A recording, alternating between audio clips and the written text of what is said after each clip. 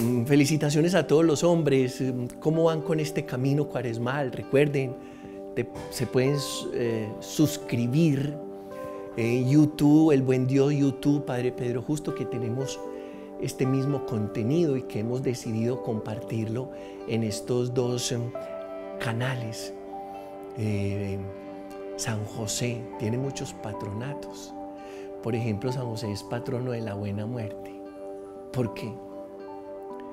Porque en el momento de la muerte de San José, eh, la compañía más extraordinaria, Jesús y María, seguramente al lado del lecho de muerte de este hombre justo, piadoso y bueno.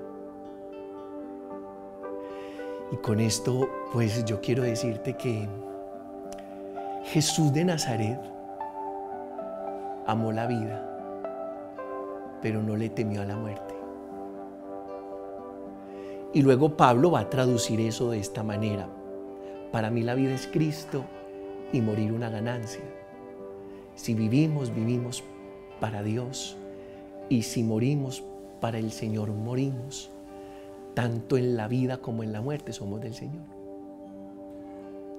Entonces, qué dicha gozarnos el instante vital, eh, gozarnos la misericordia de Dios que nos arropa, nos cobija,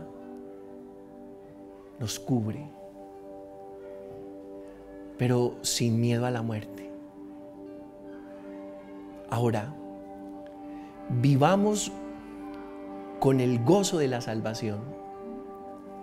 Y si hemos de morir, muramos al hombre viejo, al hombre vicioso, al hombre pecador, al hombre mentiroso, al hombre infiel, al hombre traicionero, al hombre criticón, en fin. Yo creo que este tiempo de cuaresma es un tiempo para morir a muchas cosas y renacer a otras porque mientras vamos viviendo vamos muriendo. Como dice eh, nuestro querido eh, Fray Marco Rodríguez, muerte y vida son dos caras de una misma realidad. Y la verdad es que no hemos salido del vientre materno y ya estamos muriendo.